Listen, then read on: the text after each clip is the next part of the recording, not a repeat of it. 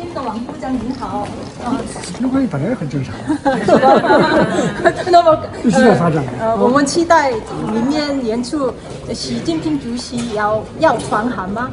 韩国的国民都非常期待这个事情吗？是的，啊，我们是邻国，我们要加强我们的高层交往。嗯，我们会呃通过渠道来就此给予学生，好吗？好，这对会议为什么长呢？这说明我们关系很好啊，我们合作非常多，所以我们都要加强我合作，我们达成了很多的共识。谢谢，谢谢，谢谢。